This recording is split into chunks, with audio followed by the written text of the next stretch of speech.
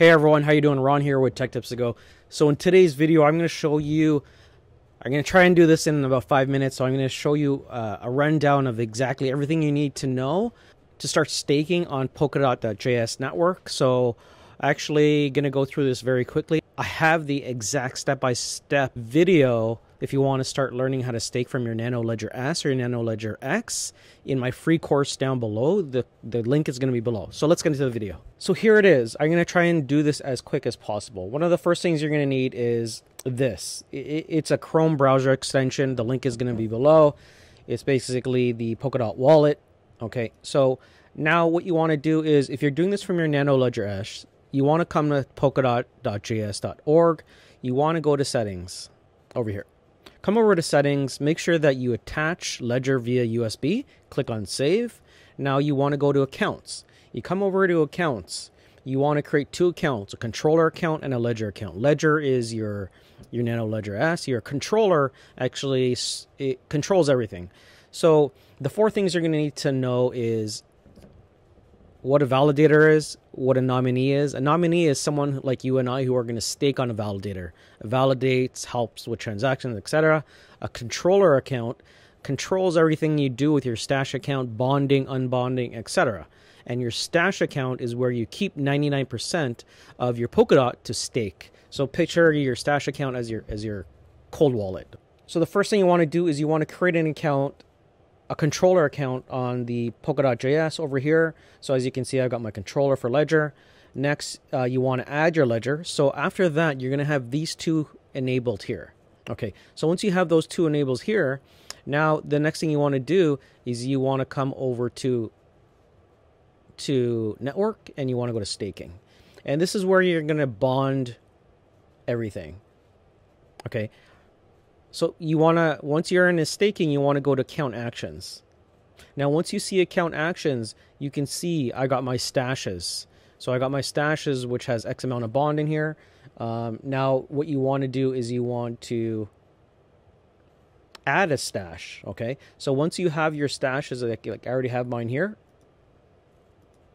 So you could click on stash, you have your stash account, which is your ledger, and your controller account, which is the controller. So you should have two separate addresses. They should be different. Now you want to keep majority of your your funds in your stash account, maybe about one to two dot in your controller account. Then you want to bond everything. Okay, this is basically saying you want to bond on chain um, for duration minimum. Like when you unbond is 28 days, and where do you want the payments to go back to? To your stash account for me. Okay, then you bond. Now, like I mentioned, you should have at least uh, one to two dot in your controller account, um, because it even mentions here mentions here to ensure optimal fund security using the same stash controller is strongly discouraged but not forbidden. Okay, so then you want to bond everything. This is this doesn't mean that you're staking yet. Okay, so now once you have everything bonded uh, the first thing you want to do is actually put some money into your your, your controller account. So what you want to do is you, you want to come to accounts first. Um, you click on your ledger right here. So you copy that address because it says copy. Now you want to send. So you want to send it to your controller. So you want to say how much you want to send. I want to send one. Click, make transfer. Done. Okay. Now what you want to do is you want to come over to staking. Come over to staking you first want to look at who you want to stake with, how you want to stake. I've got a long tutorial and my free course. It's not long, it's about 27 minutes. But basically, you want to go to targets and you want to make sure that you're getting the right commission, they haven't been slashed, etc. So after you picked your list of validators and you're you're going to nominate on them, you want to go to account actions.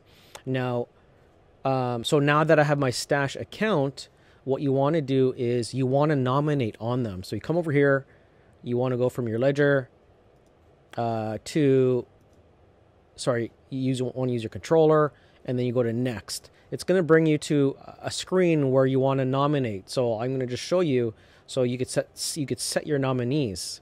So my stash account, uh, my so that that's it. So once you've got your stash, okay, your stash, you're going to be saying that, hey, in my stash, this is what it's going to look like. Your your stash account is your ledger, your Nano Ledger X, which is your cold wallet and Polkadot, and your controller is where you keep one to two dot just to control everything.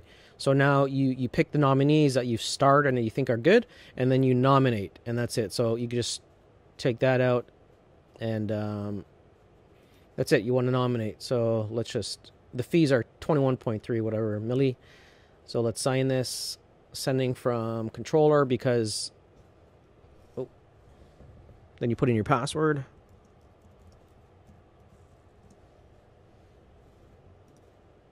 Sign transaction and done. That's it. So that's how you, stake. So it's pretty straightforward. Like I said, I've got the full tutorial in my free course down below, the links below. I kind of wanted to uh, make this quick so you get an overall idea on how to do it. Uh, but like I said, everything's down below. I go step by step. So um, pretty straightforward. It's not that hard. It's just uh, picking a list of nominees. Make sure you got 16 of them, 14 to 16, and you don't have to check so often, but you want to make sure that within that era, your validators are actually getting rewarded because if they're not getting rewarded, you're not getting rewarded. But if you have 14 to 16 of them that you've selected, you should be okay. So, anyways, uh, hopefully, this, hopefully this was uh, short and quick. Sorry if I mumbled uh, too much, but uh, I wanted to make it quick, not uh, a full 30 minute video, just so you can get um, a glimpse or a take to see if you'd rather do it on Kraken because Kraken you could do it within 12 uh, within 2 to 3 clicks with Polkadot JS org and staking on the Polkadot network or on Kusama um, it does take a little bit um, more time to do and learn. But uh, I think if you're going to be in cryptocurrency for a while, I think you should actually start to learn the Polkadot ecosystem because, like they said, not your keys, not your crypto. So be safe, and I'll see you in the next one.